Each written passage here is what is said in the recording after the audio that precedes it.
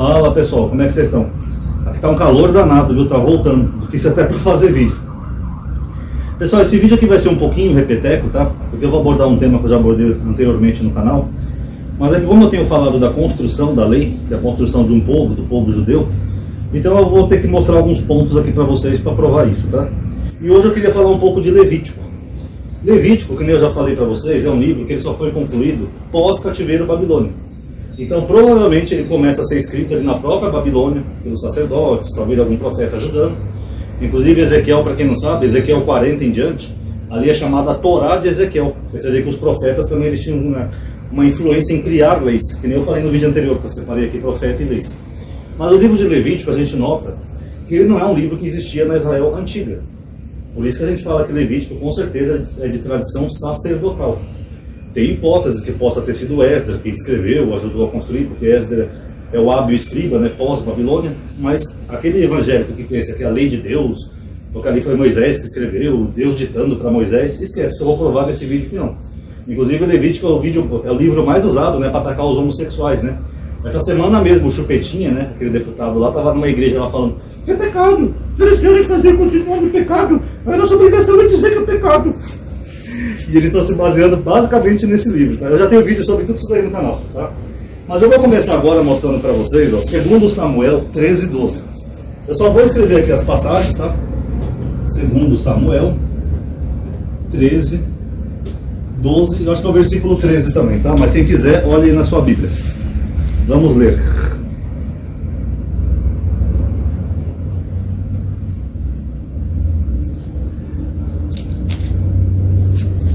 Já dei o like aí no vídeo, tá? Isso ajuda o canal. Bom, essa passagem que eu vou ler para vocês é a passagem que o filho de Davi, Aminon, ele se apaixona pela própria irmã e ele violenta ela sexualmente. Mas ela diz para ele assim: primeiro ele fala para ela, deita-te comigo, minha irmã. Ela fala: não, meu irmão, não me forces, porque não se procede assim, Israel. Não cometerás essa infâmia. Aonde eu iria esconder minha vergonha?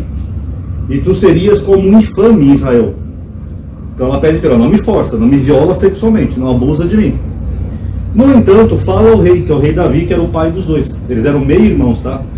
Uma era filha da, de uma mulher de Davi e outro de uma concubina, eu acho. Fale ao rei, e ele não me recusará a entregar-me a ti. Então, qual foi o pecado aqui de Aminon? Foi ter abusado sexualmente da, da, da irmã dele? Não. O texto está dizendo que não. Porque ela diz para ele: pede ao nosso pai, Davi, ao rei, que ele não vai me negar você. Pergunta: por que, que Davi não ia negar ele para ela? Se nós temos aqui em Levítico 18:11 essa proibição. Vamos ler?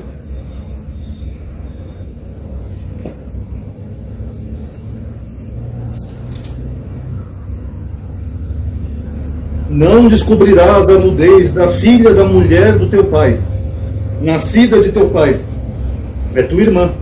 E não deve descobrir a nudez dela. O que ele está falando aqui? Se seu pai tiver uma filha, uma filha com outra mulher, é como se fosse sua irmã, porque afinal é meia irmã.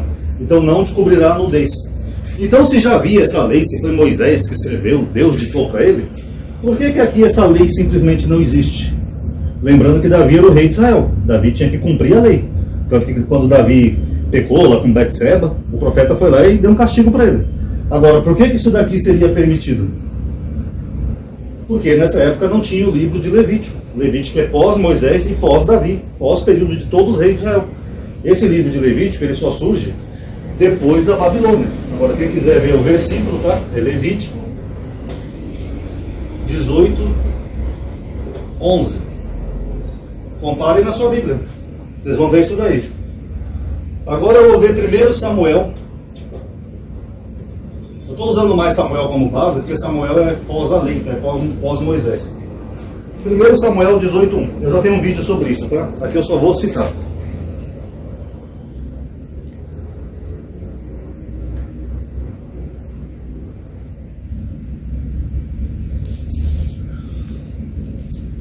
Primeiro Samuel 18.1 diz assim.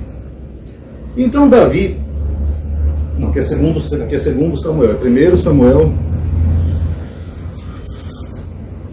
minutinho aqui. 18.1. Aconteceu que, terminando ele de falar com Saul, Jonatas apegou-se a Davi. E Jonatas começou a amá-lo como a si mesmo, com toda a sua alma. Aqui a Bíblia de Jerusalém muda um pouquinho, tá? Mas ali tem o termo alma, que é o nefesh, tá? Esse termo amar aqui, pessoal, já tem um vídeo sobre isso, que é o termo... O hebraico tem dois jeitos de falar amor, que é o ahavá, que é um amor fraternal. Se quiser eu escrevo aqui, ó, a, a, vá. Eu não lembro se é o rei que termina ou se é o vá, mas tudo bem. E aqui o autor usa uma palavra errev. É um pouco parecido com aquilo, tá? O errev, pessoal, aparece aqui nesse mesmo capítulo que a gente acabou de ver, de 2 Samuel 13, 12. Quando o Aminon abusa sexualmente da sua irmã.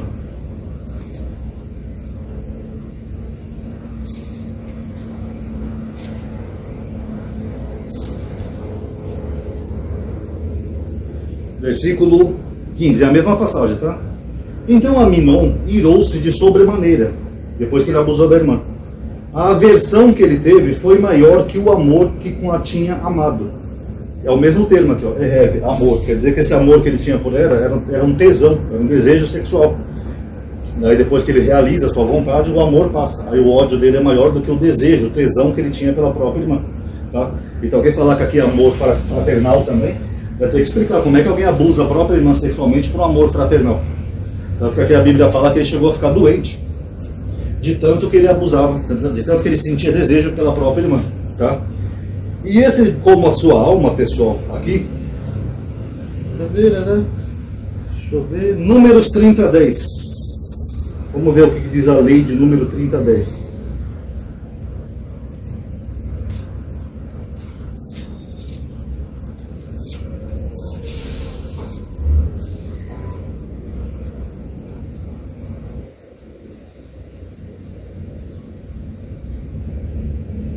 O voto de uma mulher viúva ou repudiada e todas as promessas que lhe fizer serão válidas para ela. Aqui a Bíblia de Jerusalém de novo emite a palavra alma, que é com toda a sua alma. Então, resumindo, Jonas amava Davi e a sua alma se ligou a Davi, é um sinal de, de relacionamento. Ou seja, ele se apaixonou por Davi e foi correspondido, porque os dois viviam lá no circo-tico danado, numa broderagem danada, se beijando, tirando as roupas, a capa, a espada, as vestes, no meio do mato. Agora, isso é proibido em Levítico 18, 22, segundo os crentes, né? Já tenho vídeo sobre isso também. E aí, como é que fica?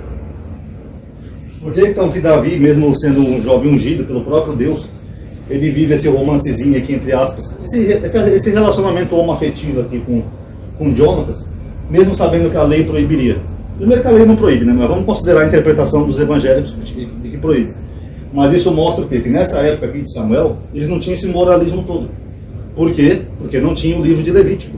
O livro de Levítico é o único que trata de questões morais e ele é pós-Babilônia. Vocês podem ver números, é, Deuteronômio, é, Êxodo, você vê que não tem questões morais. Você tem leis de sacrifícios, tal, não sei o quê, se seu boi cair na vala, etc. Mas você não tem leis morais, porque essas leis morais são mais recentes. Tá? Vamos ver mais uma passagem aqui. Segundo Samuel 16, 22. Deixa eu só escrever aqui. Acho que não vai dar para vocês verem. Segundo Samuel 16, 22.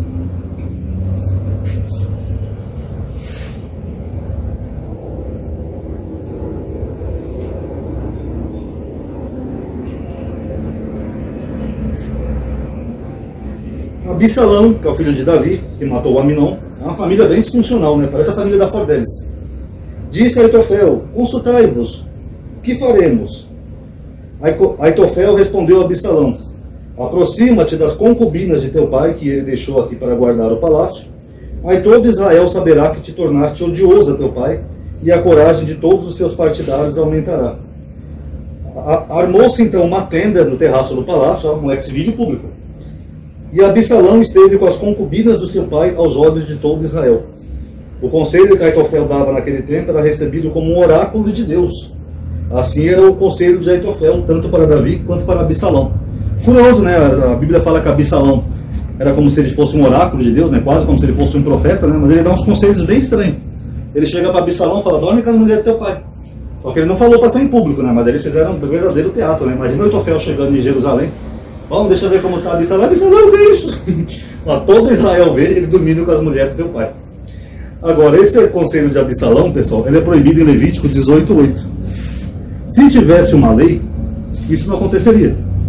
Porque ou Absalão iria pensar na lei, ou Aitofel não ia dar um conselho contra a lei para ele. Porque ele fala, pô, vamos fazer uma coisa diferente, mas aí Deus pode nos, nos punir por isso. Ó, Levítico 18:8. Não descobrirás a nudez da mulher do teu pai, pois é a própria nudez do teu pai. Levítico 18:8.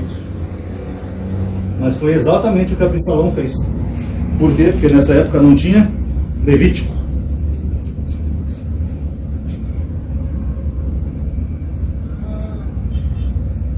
Tem um versículo aqui que eu acho que eu vou pular, pessoal. Não sei se eu pulo. Não, vou, vou citar. Segundo Reis 17 e 25. O rei Salomão, pessoal, quando ele assume o poder lá em Israel, ele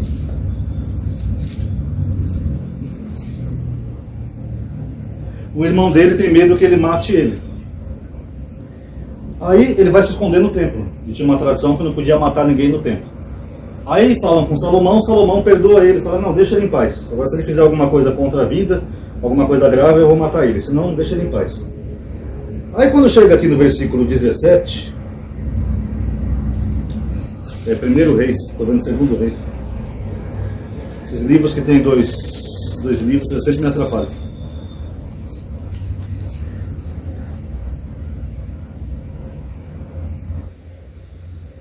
Ele manda chamar a Batseba, mulher do rei Davi, e fala: Dize, eu te peço ao rei Salomão, pois ele nada te negará, que me dê a Bizag de Sunã como esposa. Alguns falam que essa daqui é a Sunamita, tá?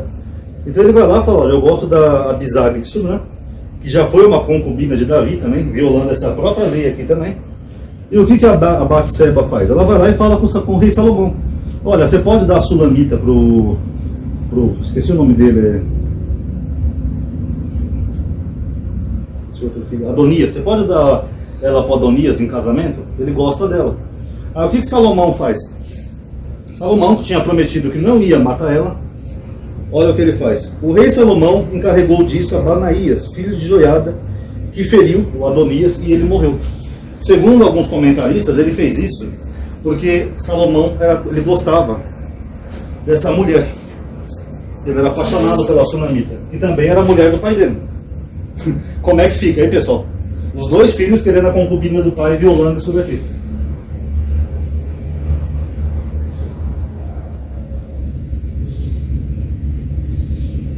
Primeiro reis. Primeiro reis. É eu marquei errado. 16. Não, segundo reis 2,17. Aqui é outra passagem. Segundo reis 2,17 ao 25.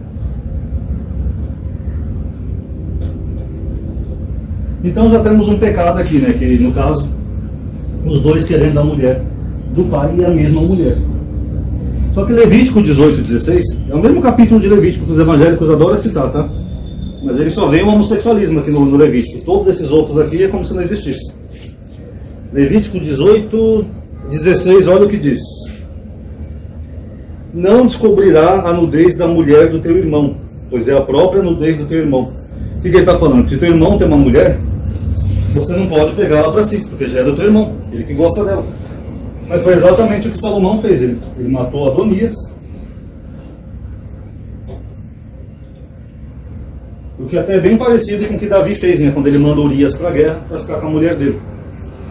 Tá vendo como é, é problemático tudo isso? E por fim, pessoal, eu só vou citar mais um aqui, mas esse aqui eu só vou citar, que é Levítico 18, 18, fala que é proibido um homem se casar com duas irmãs, só pode ter uma. Mas é isso que a gente vê na história de Jacó. Só que como Jacó é antes da lei, então as pessoas vão usar esse argumento, que naquela época não tinha lei ainda. Mas é um exemplo clássico de que ele faz uma coisa que só vai ser proibida depois. Só vai ser chocante para Israel depois. Ele se casa com Lia primeiro e depois com Raquel, que ele amava. Labão vai lá, engana ele, faz ele servir sete anos, promete uma filha e da outra. Mas o fato é que ele casou com as duas irmãs. Só que em Levítico 18, 18 é, 18 e 18 é proibido. Então, pessoal, tudo isso aqui mostra que nessa época aqui, quando a gente vê a história dos reis de Israel, desde Davi, rei Saul, etc., não tinha essas leis morais. Essas leis morais só vão aparecer em Levítico, e Levítico é pós-Babilônia, tá bom? Agora, quem discorda, comente aí nos comentários. O que vocês acham? Como é que vocês analisam todos esses versículos aqui que eu analisei aqui? Como é que fica? Salomão e Adonias, dois irmãos, brigando pela mesma mulher que já tinha sido concubina do próprio pai. Como é que o rei Davi ia dar a própria filha para o próprio filho? Não tinha uma lei que regia na época? Ou então Davi era contra a lei naquela época? Todo mundo era contra a lei. Então analise aí, tire suas conclusões. É por isso que eu falei para vocês, as leis, elas começam mesmo, lá que eram os próprios reis que faziam algumas leis, os profetas também faziam suas leis, e depois nós temos toda uma construção posterior redigida, tá bom? Quem gostou, dá um like aí, se ajuda a aumentar a atividade e alcance, tá bom? Obrigado por ter assistido. Paz a todos.